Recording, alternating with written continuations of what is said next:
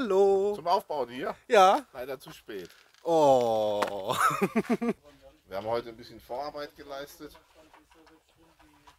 Und ein, zwei Leute trainieren jetzt noch. Hallo. Heute was? Äh, Aufbau. bisschen Aufbau, ein bisschen Training. Gehen Sie weg. Pokale stehen auch schon. Müssen deinen Stand noch aufbauen. Machen wir jetzt.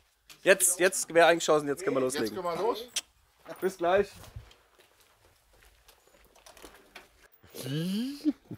Ja.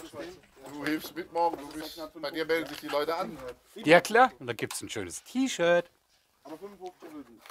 Und dann versuchst du auch noch beim Wettbewerb teilzunehmen. Was ist das Ziel? Äh, letzter? Kann nur besser werden. Von Fleisch mitbringen. Ja. Ja. Also ich habe vier Burger, zwei Packungen Hähnchen und zwei Packungen Bratwürstchen. Weil Essen ist wichtig, sonst morgen kein Charity-Shooting.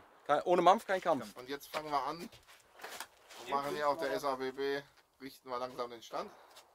Ihr habt das morgen unter Kontrolle, ne? Mehr oder weniger, wie Alles immer. für den guten Zweck. Alles für den guten Zweck. ganz vom Du weißt ja, sicheres Auftreten bei völliger Ahnungslosigkeit. Schlüsselqualifikation. Dein Büro eingerichtet. Büro ist eingerichtet und läuft für morgen. Wenn ihr hier also morgen reinkommt oder wenn ihr hier zum Schnupperschießen reinkommt, findet morgen auf Stand 1 auf der SAPB statt oder hat stattgefunden auf der SAPB. Dann meldet ihr euch hier beim Sven an, der euch dann von vorne begrüßt. Genau, nicht von hinten, sondern vorne.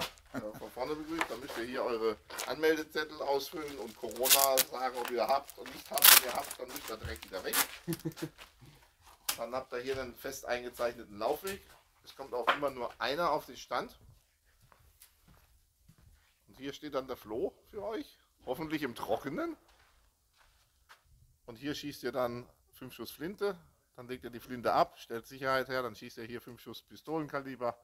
Ähm, auch auf Popper. Und dann trägt der Floh euch eure Treffer ein. Dann geht es zurück. Ja.